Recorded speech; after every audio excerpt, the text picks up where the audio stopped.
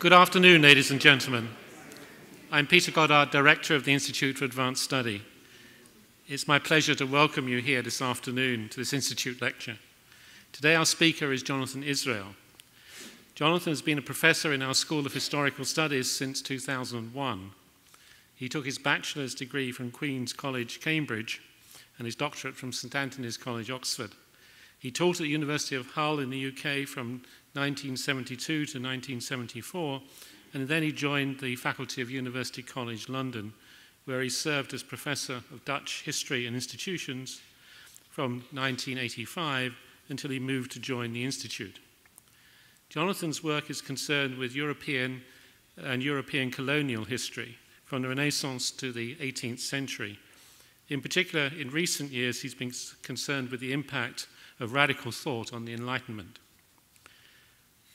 He's concerned with the influence of Spinoza, Diderot, and the 18th century French materialists on the emergence of the modern ideas of democracy, equality, toleration, freedom of the press, and individual freedom.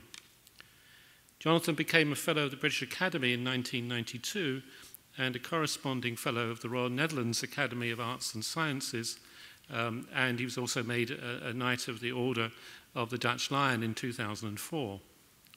His distinction has been recognized by the award of very many prizes, as well as honorary doctorates from the universities of Antwerp and Rotterdam, and an honorary professorship from the University of Amsterdam. At the end of Jonathan's lecture, there will be an opportunity for questions, and the lecture will be followed by a reception in the Fuld Hall Common Room, to which you're all invited. And as you can see, today Jonathan's title is Celebrating Modern Democracy's Beginnings, the British Club in Rome. Jonathan. In Paris.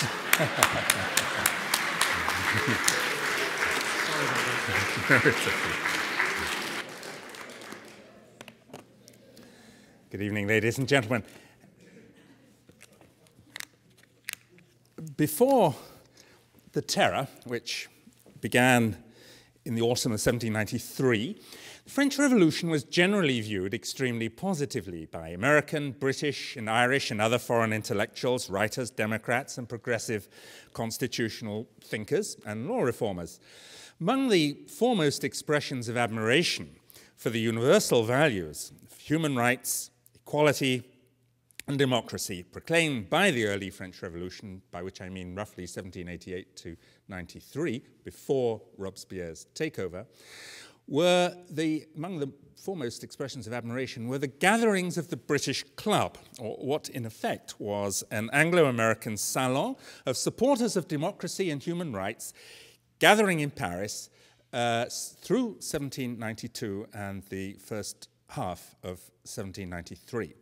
A topic of considerable significance, which rather amazingly has been very little studied or discussed at the great banquet at the British Club in Paris, held on the 18th of November 1792, which is the central theme of, uh, of my talk this evening, more than 100 distinguished Anglo American Democrats, including Tom Paine, David Williams, Joel Barlow, Eleazar Oswald, John Oswald, Helen Maria Williams, and Lord Edward Fitzgerald, gathered to celebrate liberty, human rights, and the spread of democracy across the world, or what they viewed as the assured democratic future of mankind.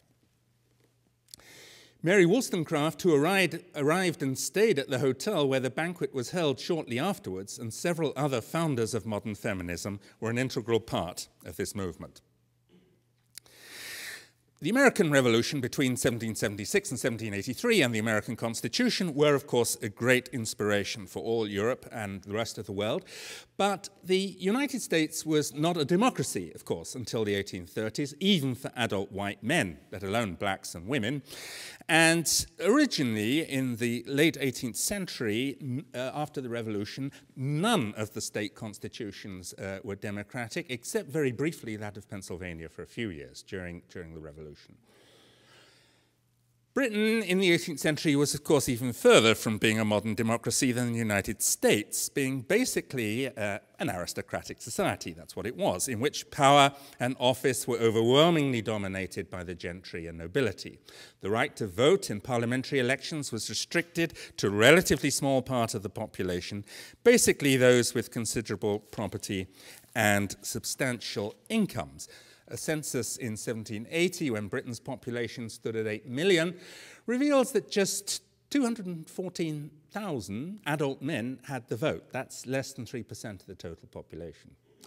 So you see how it happened that between 1789 and the advent of Robespierre and the Terror in the autumn of 1793, France could be and was a unique as well as tremendous inspiration for all the most aware and progressive intellectuals and Democrats on both sides of the Atlantic.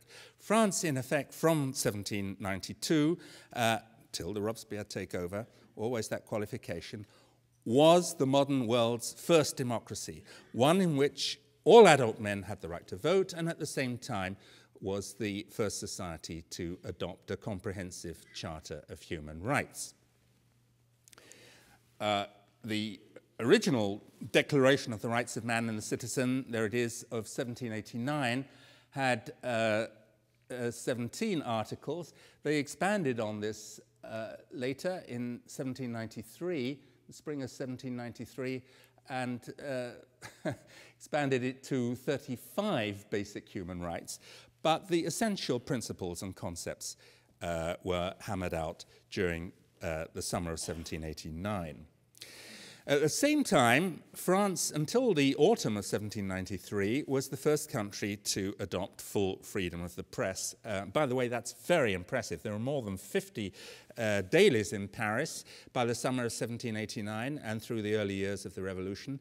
And this is fascinating and very, very lively reading, tremendously impressive. There had never been anything like that before in the history of the world. So when I say freedom of the press, I mean something tremendously new and tremendously impressive. Freedom of the press, freedom of the theatre. Remember, in England in the 18th century, you have, let's say, semi freedom of the press, but absolutely no freedom of the theatre. That was very strictly controlled, considered very uh, capable of causing considerable disturbance. So full freedom of expression in theatre, that's something totally new, which you don't see in history before this. So I, I want to emphasize this because we are talking about something immensely different from what you would see in England in the late 18th century, uh, something that uh, was entirely and dramatically new for contemporaries. Uh, then, of course, uh, freedom to hold political meetings, as well as the, uh, being the first uh, modern state to abolish uh, all forms of serfdom, and then black slavery in principle in 1793-4. And the first to remove all religious disabilities from every religious minority, Jews, Unitarians, Mennonites, Deists. There, there, are no, no disabilities of any kind.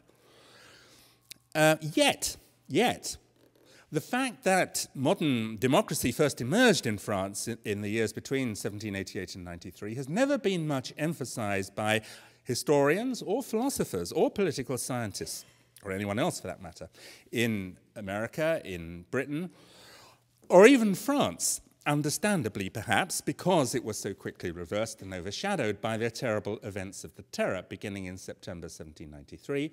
Uh, the Terror went on until uh, till the autumn of 1794. So this, the, the, the, the neglect and uh, absence of any emphasis on this tremendous, tremendous landmark in human history is understandable, but also very misleading. Uh, of course, Robespierre, once Robespierre, there he is, secured power, uh, the change was immediate and very dramatic indeed. The Constitution of 1793 was immediately suspended. Liberty of the press and theatre not just suppressed, but completely suppressed. All human rights were grotesquely violated. But this happened because the men who made the revolution of 1788 93 were swept aside, all of them, without any exceptions, all swept aside, and a whole new ideology took over, one presenting uh, a vision of the people as uh, this is slightly amusing, uh, or grotesque rather, um, uh, print of uh, Robespierre having guillotined everybody else is now guillotining the executioner. Um, once uh, this whole new ideology took it over, um, central, I don't want to speak too much about the differences between what I call the uh, true Republicans who created the, the, world's first modern democracy and the Robespierrist ideology, but one of the crucial differences is the idea that uh, the way the ordinary person thinks, which is what Robespierreism stands for, the ordinary man, uh, is something collective and unitary. It's indivisible. So there it is. The people is a colossus. There's no division of opinion. And what's more, you don't permit any dissent. So here's the colossus, the people making mincemeat. It says up there, uh, le peuple mangeur de roi, um, sweeping aside these puny, feeble kings who've dominated all politics hitherto. Uh, so this was an ideology, a new ideology, a very different ideology from the ideology that created the revolution, and one that led to tens of, and eventually hundreds of thousands being imprisoned without trial, and many thousands being guillotined, shot, or otherwise murdered by the state. This abrupt change of direction has so totally colored our view of the revolution that we tend to forget much of what happened before. Um, but this cannot alter the crucial fact that uh, here we see this is the Constitution of uh, 1793, uh, symbolized um, in a print. And what it's based on is la sagesse, the wisdom of the Enlightenment, and the immutable rights of man. And it was indeed the world's first democratic constitution, drawn up, hammered out over months in the later part of 1792 and the first months of 1793.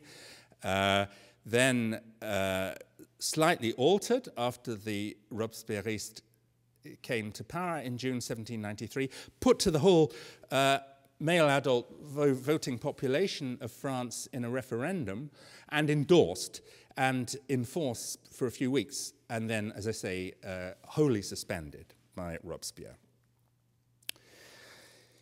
Well, once the terror began, it became much easier for the revolution's innumerable enemies, foreign and domestic, to disparage and ridicule as deluded men of abysmal judgment all British writers and public figures who had publicly endorsed the revolution the most eminent of whom was uh, Tom Paine, of course, with his uh, world celebrated book championing the revolution, The Rights of Man of 1790, which came out in an, e an extraordinary number of editions all over the place. Uh, here's the title page from Dublin. In 1789, there were editions in North America, in, in England, in Scotland, in, in Holland, and uh, in, in various languages in all sorts of other places. Uh, and among the uh, American radical thinkers who thought that the American Revolution hadn't gone far enough and should the American Revolution was not democratic but should have been democratic in the view of radicals who've not actually been made too much of. One of them was Joel Barlow. They're not terribly well known. That's the point I'll come back to uh, later. Barlow was an, uh, a poet um, whose vast epic poem puts forward uh, a rather amazing vision. Um, it's called The Vision of Columbus, a rather amazing vision of uh, modernity and the future of humanity on both sides of the Atlantic, but it's largely forgotten now. Um, so, uh, as I've been suggesting, the idea that the revolution was a single unilinear development from a single set of ideas or doctrines, and that uh, Robespierre and the Robespierrists were somehow the fulfillment of the revolution and the fulfillment of the idea of liberty of the whole uh, Enlightenment, as many thinkers, many postmodernists, and many critics of the Enlightenment, all sorts of writers say this still today.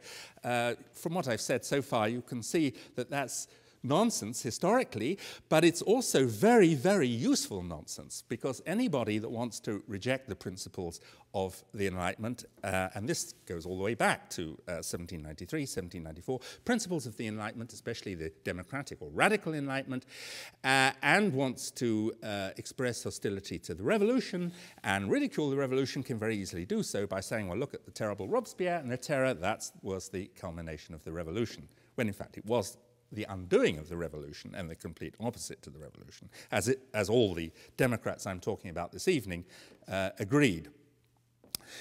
Well, um, Robespierre repeated tirelessly that he was against the philosophes, he hated the philosophes, he rejected the work of the philosophes. We don't need all that philosophy, was his battle cry of the people who had made the revolution. It's the ordinary person, how the ordinary person feels that is paramount. That's the only criterion of legitimacy. The people alone is good, pure, and uncorrupted, and I, Robespierre, represent the people. Furthermore, there's only one way the really ordinary person thinks, only one authentically popular view, and therefore only one correct opinion about things, and all dissent will be crushed. That's the Robespierre's ideology. What occurred was a desperate struggle between rival ideologies, and it's the libertarian ideology of the radical Enlightenment with its claim that ignorance is the real enemy. That's nicely symbolized in this print. So, uh, whilst they were still on top in 1792 and 1793, they could put forward this message quite effectively, the, the, the left Republican Democrats who were in power in 1792 and early 1793, uh, what liberty is, is something that upholds uh, reason and enlightenment. So there is the uh, scepter of reason and enlightenment, destroying um, ignorance and fanaticism. And you can't have liberty whilst ignorance and fanaticism dominate. So you've got to destroy ignorance, or you, at least you've got to overwhelm uh, in considerable degree.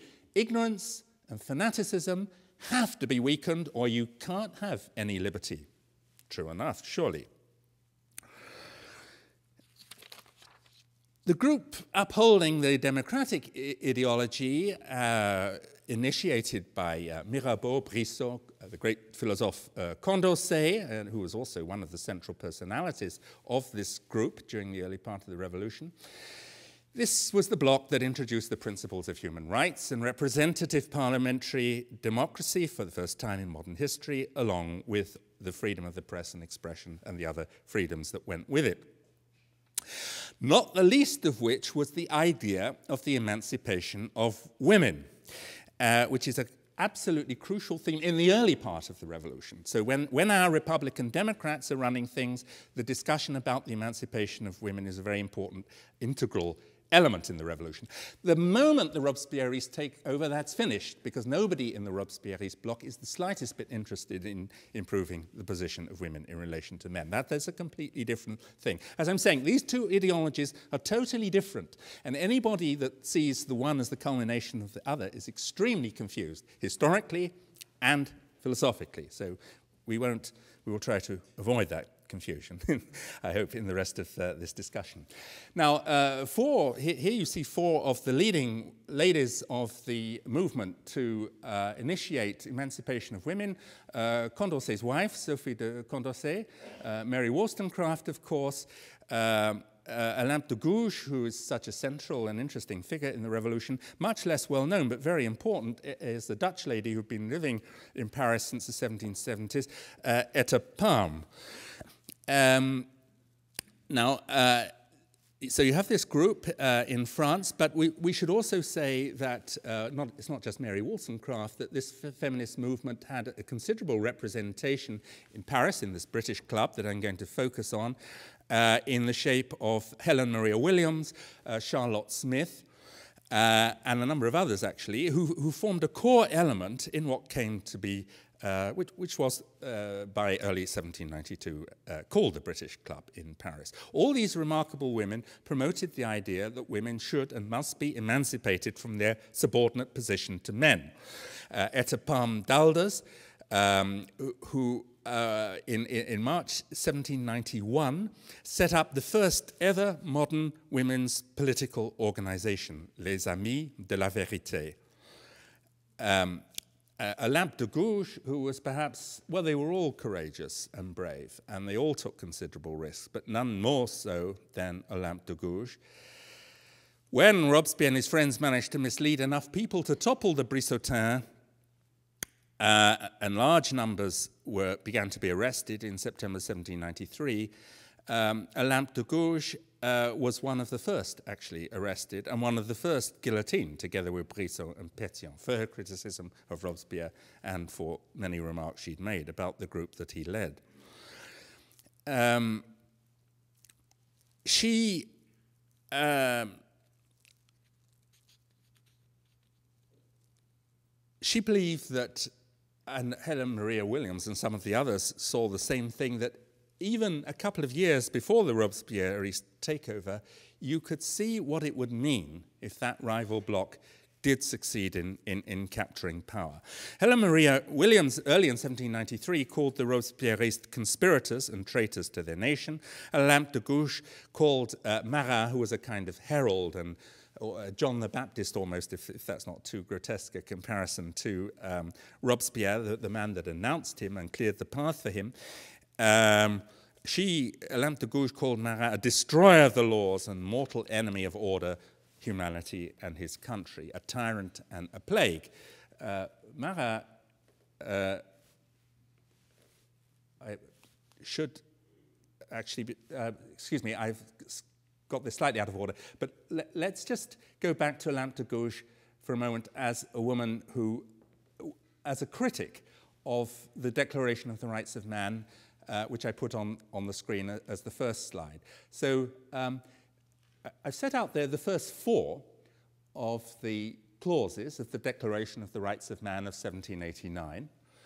And uh, she was brave enough to draw, draw, up a somewhat ironic but deadly serious critique of the 1789 rights, setting them out as, uh, and, and actually presenting them to the Assembly. Of course, they were rejected by the vast majority who refused to take such a thing seriously. Um, but in the, among the leading group, among the group around Brissot and uh, Condorcet and Tom Paine and so on, what she had to say was taken very seriously. So I won't read it all out, but you see how uh, her, just from the first four, how each of them in a critical way refers to each of the others. The fourth is interesting. Liberty and justice consist of restoring all that belongs to any to all. Thus, the only limits on the exercise of the natural rights of woman are perpetual male tyranny. These limits are to be reformed by the laws of nature and reason.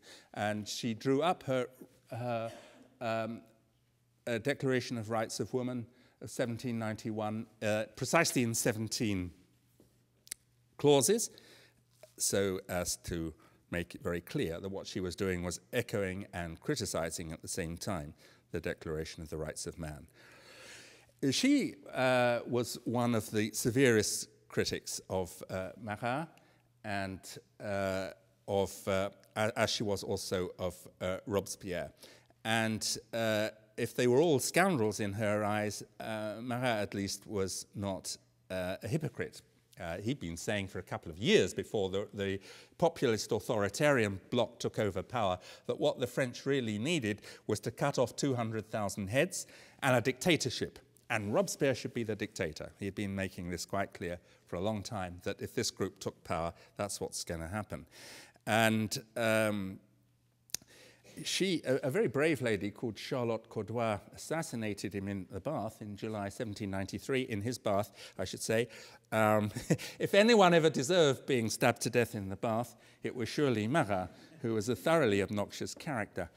Uh, anyway, um, Olympe de Gouges predicted that Robespierre was so bad that one could be sure that were he to succeed, as soon as he uh, captured power, that he would revenge himself on the Democratic Republicans, and not just revenge himself, that he would assassinate Condorcet, Brissot, Pétion, and the others who had made the revolution. A remarkably correct prediction.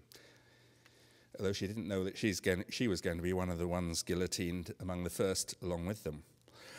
Once one sees that the Republican Democrats shaping the revolution between 1788 and 1793, and who introduced the rights of man, abolished feudalism, abolished aristocracy, ended serfdom, and established democracy, uh, as well as initiated modern feminism, that this group had really nothing to do with Robespierre and the terror, or the anti-feminism of 1793 to 4, it becomes much clearer how it was that many of the best British, American, and Irish Democrats and Republicans were so wildly enthusiastic about the revolution in its early stages, that is, until Robespierre's coup d'etat.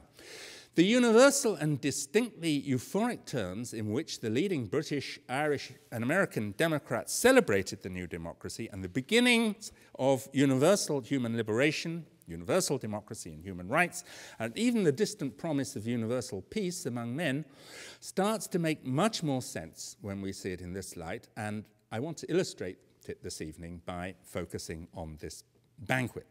Now, by late 1791, the French quasi republic, it wasn't formally a republic till uh, August 1792, but it, the king uh, had no power and was uh, a very detailed constitution in place by late, late 1791. Um, the, the quasi republic found itself at war with the Austrian Empire and Prussia and other European states uh, supported by Britain and Prussia. Uh, and these enemies were trying to invade France and destroy the revolution, which of course threatened all kings and, and all, the, all the traditional uh, societies of uh, Europe and beyond.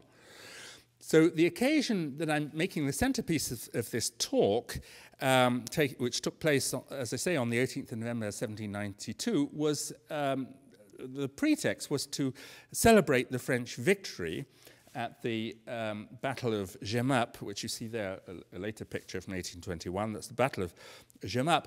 Uh, the in the early months of the Revolutionary Wars, the, um, France was invaded and was very much on the defensive, but they began to have more success uh, in the autumn of 1792, and the Battle of Jemappes was the first major French victory outside of France's borders. In, in, fact, the battle that led to the complete overrunning of Belgium in November 1792. So this is key battle won by General uh, Dumouriez, who you see there.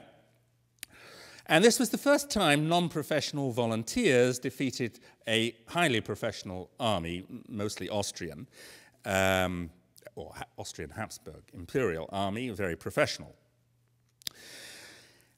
Uh, but why, you might well ask, should the British, Americans, and Irish re resident in Paris meet on the 18th of November 1792 under the banner of the Friends of the Rights of Man associated at Paris, known as the British Club, at White's Hotel, which was also known as the Hotel d'Angleterre, which a few months later, after the outbreak of the war with Britain, uh, had to be renamed the uh, Hotel de Philadelphie, uh, to why would they meet in this way to participate in the grandest and most important banquet celebrating French achievements that Anglo Americans ever mounted in France before the 20th century?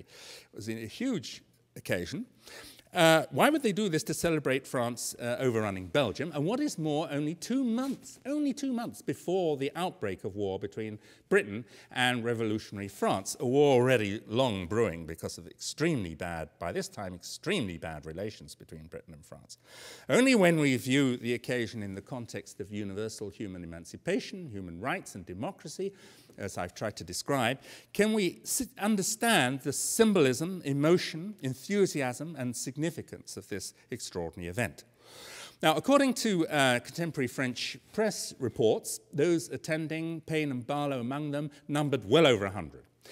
But the few modern historians who've discussed this grand occasion under the spell of traditional uh, British, and uh only one or two British historians, because no one else seems to have discussed it, um, under the spell of traditional notions about patriotism, have been so shocked by reports that numerous distinguished British should have uh, been engaged in something that at the time and long afterwards was represented in England as profoundly un British and unpatriotic. Uh, the Two or three writers that have written about this refuse to believe that there can have been anything like 100. One of them says there can't have been more than 80. Um, that's uh, Albert Goodwin in his book, The Friends of Liberty, the English Democratic Movement in the Age of the French Revolution, 1979. He didn't think that many true English could possibly have been there. I just quote so that you can get something of the flavor of his reaction. How can, they, how can these people uh, these militant, I'm quoting now, militant enthusiasts be prepared to dabble in treason in collusion with the French on the eve and even after the outbreak of war. And he conjectured that these traitors, as he calls them, must have, surely most of them were really Americans, Irish, or else Scottish. Uh, But this is certainly wrong. All the contemporary reports show that there were over 100 present at the banquet, and most were unquestionably English, even if there were numerous eminent Scots, Irish, and Americans present. But the main point is that they were not traitors, but radical Enlightenment enthusiasts for democracy, emancipation of peoples, and human rights. And it's important that we understand and appreciate their thoughts and their efforts. Their overriding aim was to see democracy, for freedom of the press, and expression and human rights firmly established in Britain too. If there had to be a war with Britain, which most of them dreaded, they wanted the convention to declare war solely on the British crown and on the British aristocracy, and not on what they called the, the three nations of Britain. Now we're going to go through the banquets 16 toasts one by one. I'm doing this partly to get you thirsty for the reception later, and partly to give the flavour of this extraordinary event and help explain its significance. So, uh, on this, this date, 18th of November 1792, the Anglo Americans and Irish in Paris gathered at White's to acclaim the French victories, celebrate the triumph of liberty, and draw up an address to the French National Convention which was actually presented 10 days later on the 28th of November. They did this under the presidency of John Hurford Stone, uh, of whom no portrait survives, it seems, a former London coal merchant, originally from uh, Somerset, a friend of Joseph Priestley and uh, Richard Price.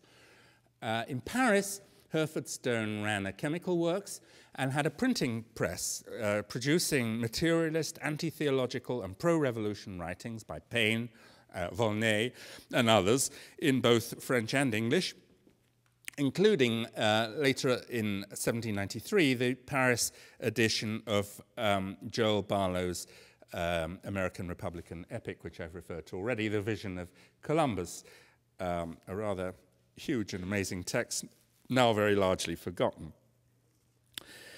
Um, Stone was a long standing opponent of Pitt's policies. He hoped to assist France in keeping Britain from directly entering the European struggle against her. He was to remain in France through much of the terror, and after a spell in Switzerland, returned to Paris in 1794, and he spent the rest of his life there. He couldn't return to Britain for political reasons. Besides Hurford Stone, present were uh, Tom Paine, Joel Barlow, the Welsh Unitarian and Democrat David Williams, the eccentric Scots vegetarian opponent of Edmund Burke and egalitarian Colonel John Oswald, who had served in India, uh, the poet Robert Merry, the American Colonel Eleazar Oswald, who was shortly to command part of the French artillery in Belgium, and um, Helen Maria Williams.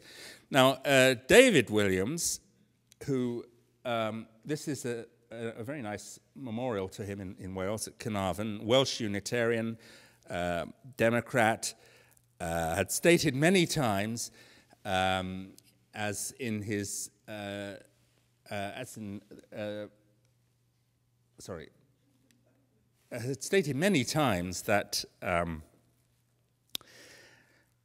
the British Constitution as it had been remodeled and remade by the Glorious Revolution of 1688, uh, and which most people in Britain in the 18th century were very proud of, was something quite inadequate for um, the uh, new dawning age. And he put forward his plan for an equal representation of the people of England.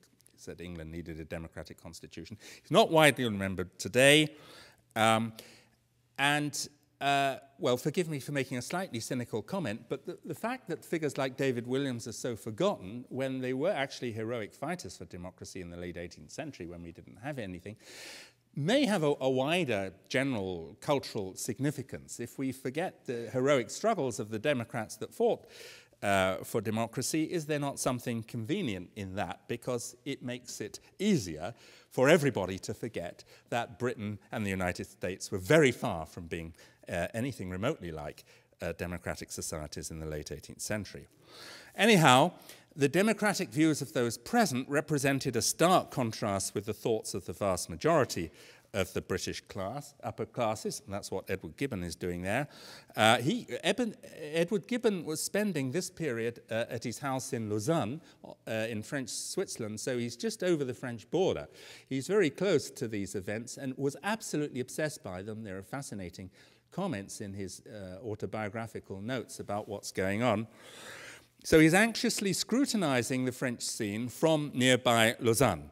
And uh, just to give a, a, a, quote which gives something of the flavor of his remarks, if England he says in a letter penned just one week before the banquet I'm describing if England, the last refuge of liberty and law, as he called it, should, with the experience of our happiness and French calamities, now be seduced to eat the apple of false freedom, meaning democratic ideas, the sort of thing David Williams was presenting and Priestley, um, we should indeed deserve to be driven from the paradise which we enjoy. I turn aside from the horrid and improbable, yet not impossible, supposition that in three or four years' time, myself and my best friends may be reduced to the deplorable state of the French emigres. They, after all, thought it as impossible three or four years ago. Since what was happening in Europe was of such immense significance for the happiness of the human race, in their opinion, uh, Hurford Stone and his fellow organizers invited delegations from all the other principal nations. Music was provided by the Paris band of the Légion, uh, Légion Germanique. The banquet began early, and the high point of the day came when all stood and in turn drank the following toast. One, to the French Republic, embodying the rights of man. Here, the trumpets of the German band played the famous revolutionary tune Ça ira. Two, to the armies of France. May the example of her, her, citizen soldiers be followed by all enslaved nations until all tyranny and all tyrants are destroyed. And at this point, the German band played the uh, Marseillaise. Remember, the Marseillaise had only been composed um, a, a, year or so before, was very new. It hadn't yet been proclaimed the national anthem of France. But it, even more than Ça ira, it, it, it, it, made a breakthrough. It's extraordinary how very popular it became. It, it was really the song of the revolution by the autumn in 1792. And some uh, reports say it was actually decisive in the Battle of Jemappes. I didn't say this when I mentioned the Battle of Jemappes, but it began very badly for the French. They were very disorganized and unprofessional, so the professional Austrians were driving them back, and they were considerably uh, in great disarray. and de Dumouriez, who was a, a, good soldier, but was, didn't really know what to do with this disorganized mass, and he only had a few minutes to decide on something. So he told the people around him, let's sing the Marseillaise. Uh, so they began singing, and soon the whole, all 40,000 of the French stopped running or retreating, and they were all singing the Marseillaise. And of course, the Austrian troops were definitely not used to this and were so astounded that they, they stopped and turned around, and before, in within a few minutes, it was a rout. So the Marseillaise actually won the Battle of Jemappes, so nothing could have been more appropriate.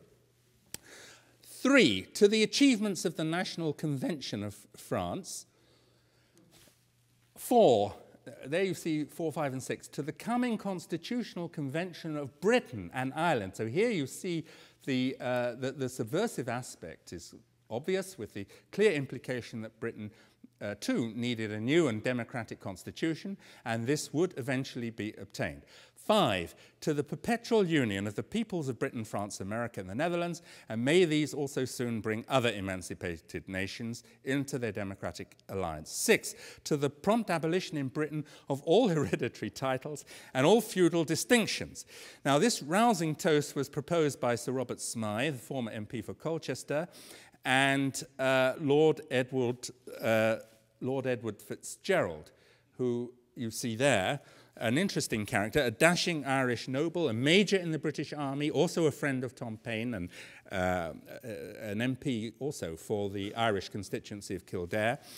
Once uh, war with Britain broke out in February 1793, um, Fitzgerald, who afterwards became a leader in the United Irishmen conspiracy of 1796 to 8, actively plotted collusion with the French and an invasion of Ireland, or, or and Britain too, um, and was uh, in fact plotting the whole time in, in the later 1790s until uh, he, he, was in Dublin in 1798. He was killed when um, British officers broke into his lodgings in Dublin trying to arrest him.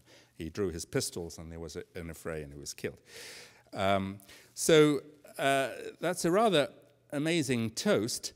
Uh, you see in this print in, in, in June 1790, uh, it, it is an amazing thing that it was considered to be necessary and integral to the, any proper conception of democracy and um, equality that uh, not only should titles of nobility be declared invalid, and a lot were burnt. This is a bonfire in which titles, titres de noblesse, are being thrown on the bonfire and destroyed. There were a lot of bonfires in which titles of nobility were destroyed, 1790 and 91. And uh, the, the uh, in the clarification of that edict, it was actually forbidden in France in municipal government, in, uh, for, for mayors, in any kind of administrative or public role, local, regional, or whatever, you were not allowed to use um, public titles or titles of distinction after 1790. So Toast 6 for the abolition of all aristocratic titles at this banquet was particularly dramatic because Smythe and Fitzgerald, there and then at the banquet itself, in a, uh, a vivid gesture, both renounced their titles. And this repudiation of aristocracy was quickly reported in the British papers not long afterwards. Uh, which led to Smythe becoming an outcast and Fitzgerald immediately being cashiered from the British Army. The seventh toast was to uh, the ladies of Britain and Ireland, and especially those distinguished by their writings on behalf of the French Revolution. And at that point were read out uh, three names those of Charlotte Smith, uh, who was, um, there she is on, on the left, who was uh, well known for her novel. Um, um, uh, her, her main pre revolutionary novel, it's called Desmond, 1792 um, appeared just around this time, actually. And it expressed her, her, faith in enlightenment and the revolution, though she changed her view later. Uh, Helen Maria Williams, um, one or two others were mentioned, Miss V.M. Trillamont. I've not been able to find out anything about her. But he Helen Maria Williams was certainly, uh, she's the lady on the right here, sorry, um, was certainly a very interesting personality, though largely forgotten now. Uh, half Scottish and half Welsh. Uh, she was about 30 at this time. She was, in fact, Stone's lover and helped preside over the British Club in Paris in its role as a kind of revolutionary, universal democratic salon, uh, much frequented by the Brissot circle, as well as by the English and Americans. Uh, she'd been in Paris since July 1790 and uh, was to emerge through her various volumes of letters and essays on the revolution as possibly the single most important writer supporting the revolution in English. And uh, her, her letters from France were one of the texts that most expressed this uh, admiration and this uh, support for the revolution. Here you see a characteristic passage uh, from volume two where she expresses her pleasure that they've been changing all the street names in Paris, not, but not the least interesting feature, fascinating feature of the revolution. So suddenly you have the Quai de Voltaire, uh, Voltaire the street of Rousseau, Mirabeau, etc. Uh, why is no street or square in London named after Pope Milton or to rise to the highest climax of human genius after Shakespeare? That's how she spells Shakespeare with no, no E. Um, well, this, this toast was obviously part of the general feminist movement integral to the uh, Parti de Philosophie, who had been running the revolution, and to the plans of Condorcet and Brissot. But of course, these ladies were not only scorned in Britain, but also regarded negatively and derided by most of the French press and the vast majority of French society at the time. Uh, the, um, here uh, we see um, theme which was to figure in the next of the, the toasts. I've arrived at, uh, um, I've lost count for the moment, but anyway, this is the, next, the toast after the, the, the toast for the ladies of Britain, that was the seventh, so this is the eighth toast, uh, was for the ladies of France, or Français, there you see, the Françaises devenues libres. Um, And in Toast 8, every, everyone rose and, and toasted to, to the, uh, especially to Mademoiselle Anselme and Fernig, these were two sister officers actually in uh, Dumouriez's entourage, after whom uh, militant revolutionary women later in 1793 in France proposed forming a female army contingent to be called the Fernig Corps. Very few men, were, of, co of, course, were willing to take the idea of women's army units seriously at this time. But John Oswald, the Scots colonel uh, at the banquet, figured among those who, who, who um, uh, energetically supported the idea of using women's contingents and, and, more generally had many suggestions to make regarding the tactics and formation of what was, was the world's first democratic army. Toast 9 to the, was to the defenders of the rights of man who, by their uh, writings, formed the avant garde of the Republic's victories. A very interesting way of expressing the point. Uh, then you get this uh, list of names uh, Condorcet, Sieyès, Caracas, and Louvet. What this shows is that they very clearly saw that the people that made the revolution and established its principles were the heirs of what we call the, or what's sometimes called now the radical Enlightenment philosophes. And it's interesting that Condorcet's name is, is placed first. Uh, but also, uh, it's a list that's stressing the role of key newspaper editors. Uh, Carra, Gorsas, Louvet, also Brissot and Condorcet were editors of um, major revolutionary papers. And I think nothing was more important. If you look at the pro revolutionary press, of course, the Royalist press was allowed, even the ultra Royalist press, nobody interfered with that until 1793. As I say, there was complete freedom of the press. But the pro revolution press uh, was very impressive. And the quality press, uh, all the good papers, um, supported uh, the Democratic Republicans and the only papers that support the Robespierre, the Robespierre's block in 1792 uh, to 3, are uh, what in Britain today is called the gutter press. There's a, a very low populist press using lots of uh, swearing and cursings and uh, so on. Uh, extremely simplistic and very boring to read, I assure you. Uh, like uh, Marat's paper, L'Ami du Peuple, uh, th those were the kind of papers that supported the Robespierreists, but none of the uh, more aware and intelligent papers do. Every single, no exceptions, everyone supports the, what I call the Democratic Republicans. Okay, um, so this, this Toast 9 is really very interesting, uh, making uh, the link both with radical enlightenment and with the crucial role of the quality press in the making of the, the revolution.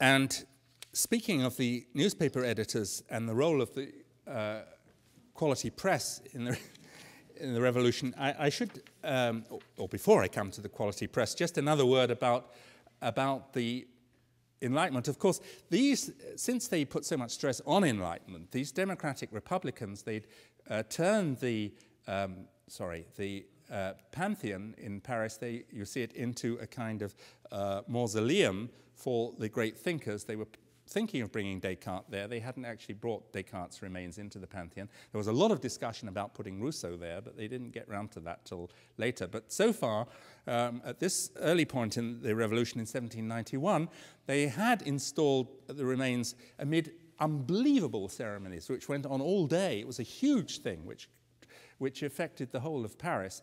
Uh, Voltaire had been installed and so had uh, Mirabeau. It was a little bit of a sleight of hand to include Voltaire amongst the, those that had prepared the revolution, because Voltaire, of course, was an admirer of kings and courts. So they were twisting things a bit, but they had to, they had to resort to this device because uh, Vol Voltaire was the most famous of all the philosophers, for one thing, and apart from Rousseau.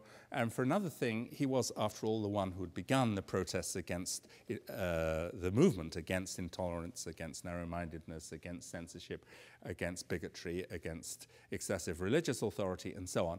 So here uh, you see uh, monarchy in the shape of uh, Louis XVI being um, th uh, thrown over with a very irreverent gesture there, referring to the uh, the king's attempted flight on the 21st of June, 1791. Um, and uh, Voltaire, the immortal man, is now uh, a much more substantial uh, force in the life of the nation than this uh, discredited king. And he, uh, this is Voltaire's remains being brought to the Pantheon. And Au Grand Homme, La Patrie Reconnaissante, Uh, of course, that's still there on the Pantheon today, and it is still today um, a mausoleum for France's great men. Uh, toast 10, that was to the generals, de Dumouriez, Custine, and the others. Toast 11 to the local patriotic societies in France and in England. And remember, in England, there were democratic and radical societies, not only in London, but in Manchester and Birmingham and other places, which were very unpopular and were heaped with abuse by the newspapers and by most of the public. But, there were, uh, there, but the Democrats were determined to uh, stand up and be counted and to support the revolution, and they were certainly there. There were also now these societies in Belgium. Toast 12, uh, everybody stood up to toast Thomas Paine and what Hurford Stone humorously called um, his novel method of, now they got them slightly out of order. This is now coming back to uh, the newspaper editors. This is just a print illustrating in 1791 um, the, the, the, only, the only populist paper mentioned here is Marat's paper, L'Ami du Peuple, so I don't know why he's buried with just a hand holding it up. But the others, there's Brissot, there's Gorsas, the others, these are all the quality press supporting the Democratic Republicans. And all these papers, except for that one, um, that's, uh, this one is Desmoulin's paper. He, he, was, of course, a very important figure, not, not one of the Brissotins, one of the Dantonistes, but very much an heir of the radical enlightenment as well, as he says on many, many occasions. Um, so these are all the um, these are all the pro-revolution papers, quality papers. Uh, so all rows toast 12 and 13 to toast Thomas Paine and what Stone humorously called his novel method of making good books known to the public via royal prohibitions and prosecution of authors, uh, alluding, of course, to the vigorous way the British government was suppressing the rights of man. Uh, 13 to all the other patriots of England who, by their writings and speeches, have contributed to propagating the principles of the revolution. And here we get an interesting list of names Priestley, Price, Sheridan, Barlow, Cooper, Tooke, and Mackintosh. Now, um, Priestley, of course, was uh, perhaps the most famous, the Unitarian preacher, but a, a leading scientist, philosopher, democratic publicist. Uh, there he is. Uh, he, his house and his uh, very well, uh, um, very well supplied scientific laboratory in Birmingham were all wrecked and smashed to pieces by uh, a raging church and uh, king mob in 1791. Actually, he was lucky to survive. He would have been killed if friends hadn't got him out of the house in time. He, he through his support for the revolution and through his democratic um, uh, public, uh, publicizing, he did make himself extremely unpopular. Uh, Richard Price was internationally known, of course, uh, again, a Welshman, very, um, uh, I mean, like David Williams, not like Priestley, but Price was a Welshman. Um, he, he died in 1791, so he couldn't be uh, at the banquet, but he was certainly celebrated in no uncertain terms. And um, Sheridan and uh, of course was one of the leading Whig politicians in, in, in, in, Parliament. Thomas Cooper was the leader of the Radical Reform Society in, in, in Manchester. Now, uh, one of the forms that the, there were many attacks in England on these people, and Priestley, I think, got more than his fair share probably. This, this caricature uh, in his in his uh, writings, Priestley was attacking ignorance and superstition almost as much as the French philosophes. So this is a, a joke about his constant denunciation of superstition. The congregation are asking him whether the devil exists, and he says, shouts no, and there's the devil poking him in the backside at that moment. Um, and uh, here's a caricature. Now, the, the, in, there was talk of the possibility of a French invasion. So uh, Dumouriez is represented in this horrific guise here um, by the spring of 1793. And uh, the idea of this Gillray um, caricature is that the democratic radicals in England who had supported, had been supporting the French Revolution were in fact traitors who were betraying their country. Uh, and that there is uh, Fox handing over the head of the Prime Minister Pitt to Dumouriez, who wants to gobble up everything in his path. Uh, Sheridan is handing over the British crown. And there's Priestley handing over the Church of England.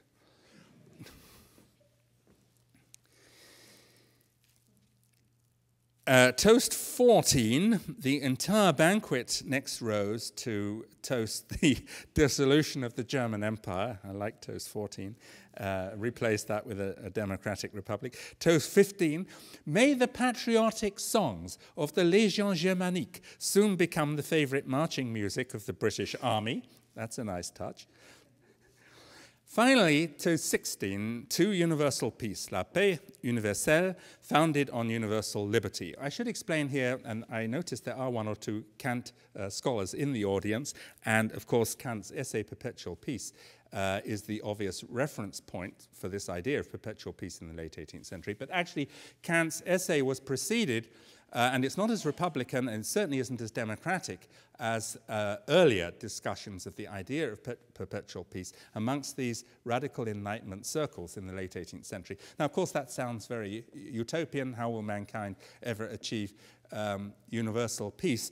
But actually, uh, when you read these writings, it's quite a sophisticated idea in a way, and it's hard not to have a certain sympathy for it because uh, the essence of it was that uh, if you could somehow get rid of not just all the kings and aristocrats, but get rid of the idea that what government is, is the possession of vested interests that prey on the majority, if you could really establish a world in which all the societies were democratic, not just in the sense that they have constitutions which are supposed to be democratic, but in the sense that they are really uh, organized and conducted in the interest of the majority instead of on behalf of vested interest, if you could really do that, then there wouldn't be any more wars because all these democracies wouldn't fight each other because it's not in the interest of the majority of people to fight wars against neighboring countries.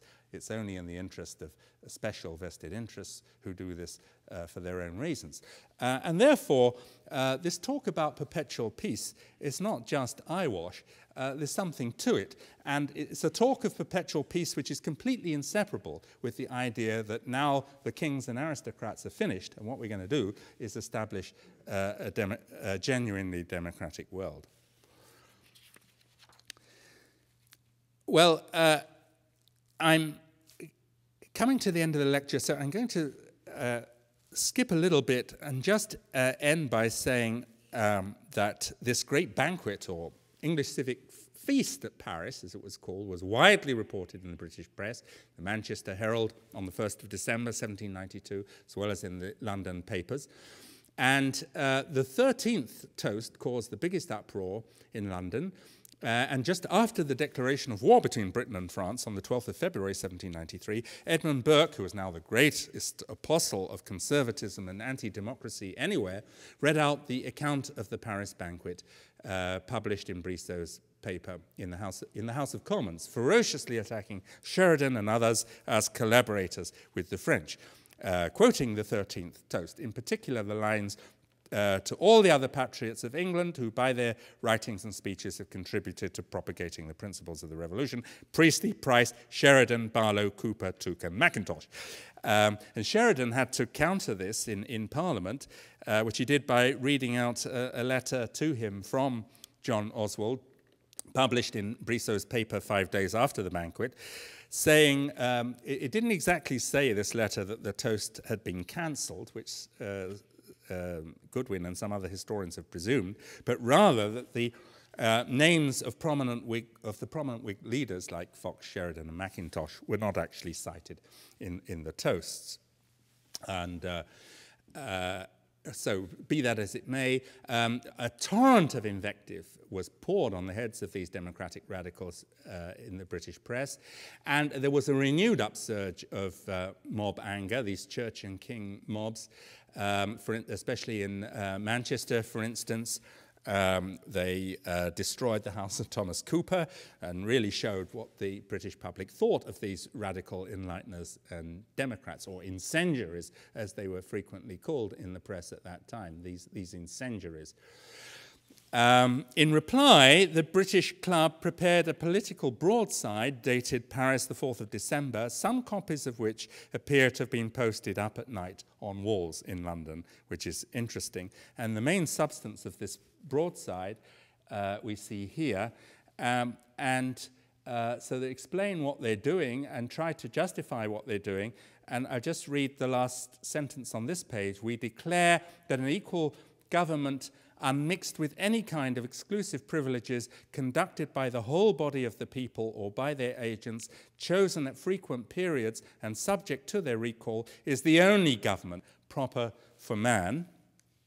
And then they go on that the British and Irish nations do not enjoy such a government, that they cannot obtain it until a national convention be chosen and assembled to lay its foundations on the basis of the rights of man, that to effect this great and indispensable object we will use all the means which reason, argument, and the communication of information can supply, that we will endeavour to remove all national prejudices which it has been the interest of tyrants to excite in order to separate and enslave the great family of man, an allusion again to the perpetual peace idea, uh, and so on. So, quite a moving document which ends, the text ends by saying, Here follow the signatures, but in the few surviving copies there aren't any signatures, though, of course, there were originally, and we assume that. Uh, uh, Tom Paine and all the other names that I've mentioned uh, were prominent among the list of signatories. So uh, it's time for me to end, and uh, that's the story of the British Club in Paris. And I'll just end with, because it gives, I think, something of the flavor of their uh, idealism, um, a characteristic stanza um, from uh, the ending, in fact, from her poem, uh, Helen Maria Williams' poem, The Bastille, um, A Vision. Uh, and there it is. Philosophy, O share the meed of freedom's noblest deed. Tis thine each truth to scan. Tis thine all human wrongs to heal. Tis thine to love all nature's weal. To give our frail existence worth and shed a ray from heaven on earth. Thank you very much, ladies and gentlemen.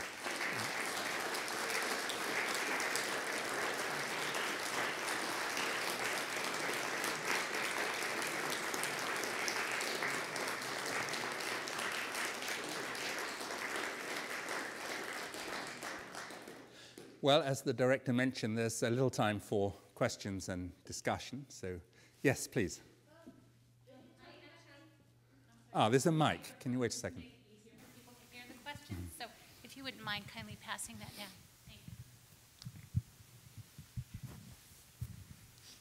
Uh, in light of that, they were at that point overrunning Belgium, as you mentioned. I was wondering how did the radical Democrats square their um, idea of universal peace eventually with the uh, actual, like at the time, um, war with other countries like Belgium? Uh, well, I think the answer is that they began idealistically by saying we don't want to annex anyone or anything. Um, but after a short time, and after all, the Robespierre people um, took over quite quickly, and they certainly weren't interested in keeping promises of any sort. Uh, so they were quite happy to uh, annex everyone and, and everything. And uh, after Thermidor, and uh, in the late 1790s, something of, uh, and Helen Maria Williams in a way symbolizes that with her continued um, enthusiasm for the revolution, uh, and she remained in, in, in Paris later. Um, it does go back. Uh, there were a few survivors. Louvet was one of the names I put on the board. He, he survived in hiding. And uh, the, in the late 1790s, something of the earlier successes of the revolution were restored, although in a very unstable and contested way, which of course uh, allowed a gap which enabled Napoleon eventually to take over. But the um, discussions about whether it was lawful and right to uh, annex neighboring areas, which were very intense in 1792 and 1793, after a while, of course, were forgotten and um, expansionism and annexation became the order of the day. Uh, and uh, everyone else, of course, became more and more terrified of the French Revolution as it began gobbling up uh, neighboring areas. But in the early stages of the war, this was a very much a disputed point, and uh, Brissot, for instance, uh, was opposed even to annexing uh, the um, area um, around Chambéry. I'm not sure what that department is called, Alp something, um, in, in, in, France, but this area was part of Piedmont until 1792. Um, it was overrun by the French uh, at this time, and uh, before the Robespierre takeover, many of the leaders, including Brissot, were opposed even to Uh, annexing this French speaking area where there undoubtedly was a lot of support for annexation to France. Other questions? Thank you.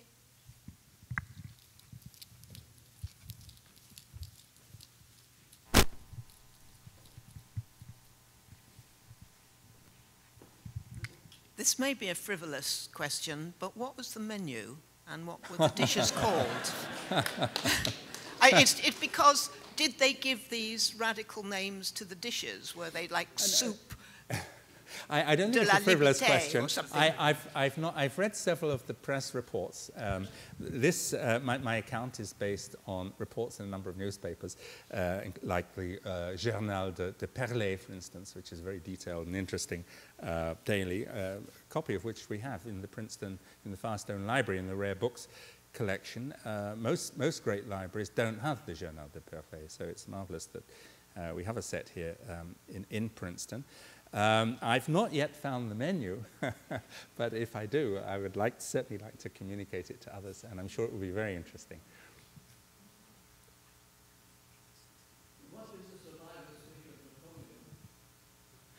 Oh, uh, the survivors were uh, all, I, think, pretty uh, an antagonistic to, to Napoleon.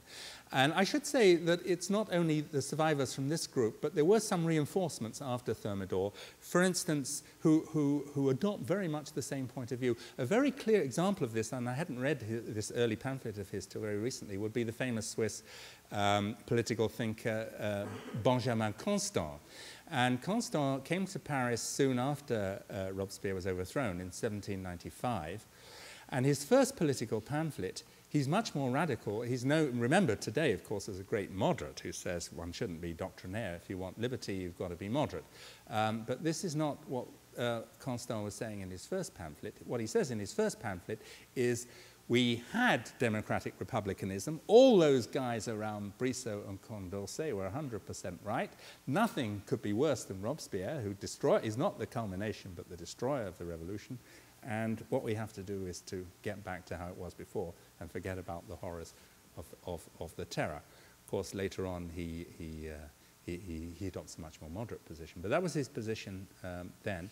And uh, uh, Constant, again, like um, the other survivors, tend to be, um, uh, and, and most, indeed, most of the, the British Democrats, I didn't mention Wordsworth and Shelley, but many famous literary people who weren't at the banquet but arrived soon afterwards uh, were also part of this movement and very, very supportive of the kind of sentiments expressed, uh, but equally uh, very disillusioned, just like Beethoven, by the pretensions and the kind of pseudo social hierarchy, this new system uh, of imperial power uh, and authority and the, and the, authoritarianism and the suppression. I mean, all these freedom of expression and freedom of speech in the press was one of the cardinal issues for all these people we've been talking about, with the exception only of John Oswald.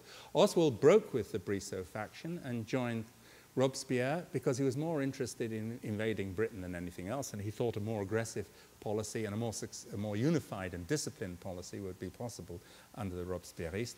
Um, but we don't know how his thoughts would have developed later because he was killed in a battle uh, in the Vendée, actually, in uh, 1793. A very interesting man, John Oswald, uh, despite his support for Robespierre, because he was the loudest uh, publicist of vegetarianism at this period. And he, he'd, he'd, acquired his vegetarianism in India, was uh, much admired the Hindus, and uh, it was, uh, as I mentioned, his feminism earlier on, and he was, certainly was the most interesting figure. Um, but I don't know what he would have thought of Napoleon. Perhaps he'd have been more sympathetic. But the, the, the survivors were, were nearly all uh, very much opponents of Napoleon.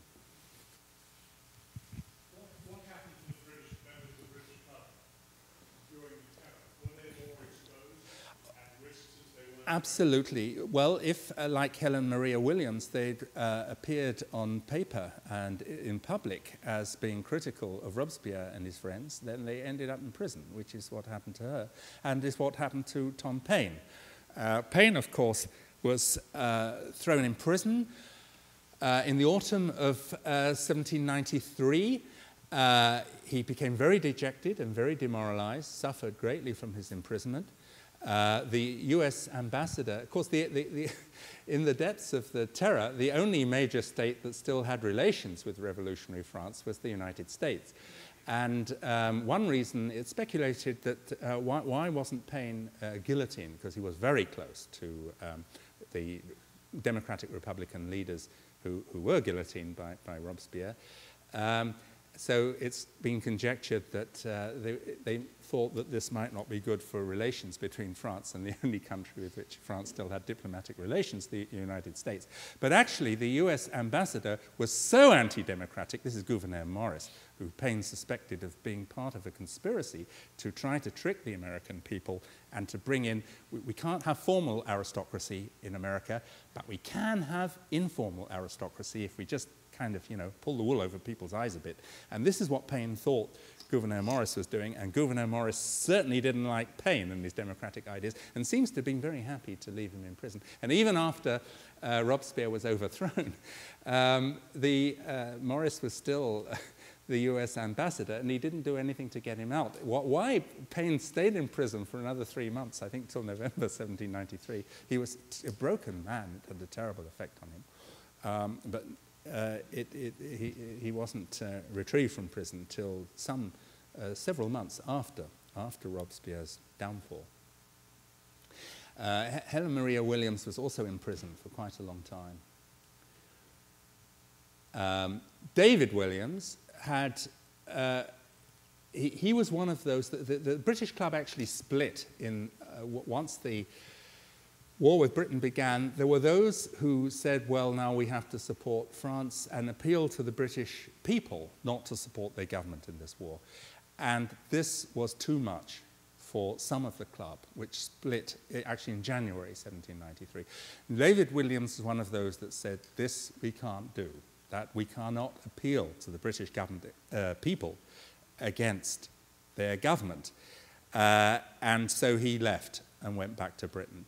So there was uh, a division of opinion, uh, inevitably, in, in, January 1793. But those that stayed in France and supported the revolution uh, were either imprisoned or uh, went to Switzerland, as Hurford Stone did, uh, or escaped in, or, or, or survived in, in, hiding in one way or another.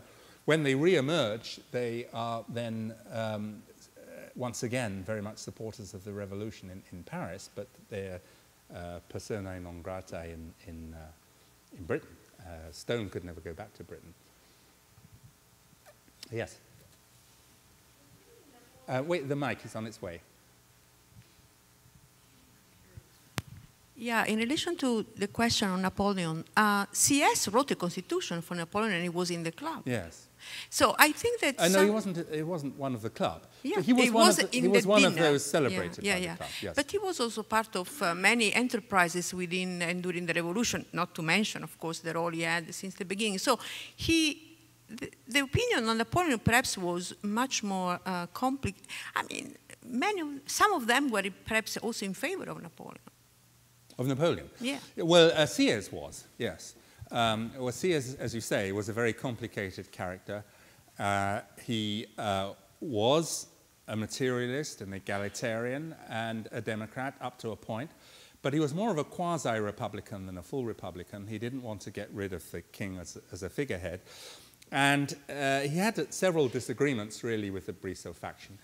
And although he's so, Sieyès is such a central figure, certainly one of the leaders and one of those that made the revolution and the Declaration of the Rights of Man in 1789, but by 1792 he'd become uh, a rather isolated figure, I would say, who, and when it came to this tremendous struggle between those I call the uh, democratic republicans and the populist authoritarians, um, withdrew into a kind of complete isolated neutrality uh, and didn't really take sides in this struggle. So he wasn't a target for the Robespierres when they came to power, but he had to remove himself from the scene. So he, he reappears in revolutionary politics in the late 90s. I think he sincerely tried to help rebuild a real democratic republic in the late 1790s, but after a while, the instability and the intrigues and the conspiracies got so much on his nerves, he finally came to the conclusion that all this was um, impossible, and he did collaborate with Napoleon's uh, coup that brought Napoleon uh, to power and established the consulate in 1800, but I don't think he intended the kind of dictatorship that emerged. I, th I think he was deceived by Napoleon, but was rapidly kind of elbowed aside.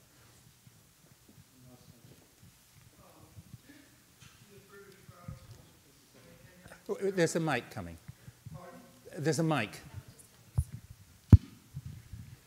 Did the British radicals make any reference to or comparison to the uh, revolution or failed revolution in the mid 17th century in England, where certainly universal malehood suffrage was proposed at Putney.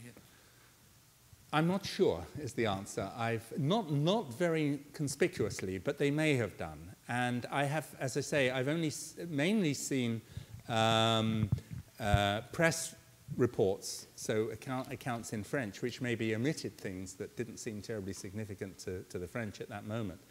Um, so it's possible that they did. I'm not sure about that. Well, we can continue the discussion at the reception now, but let's thank Jonathan again for extremely.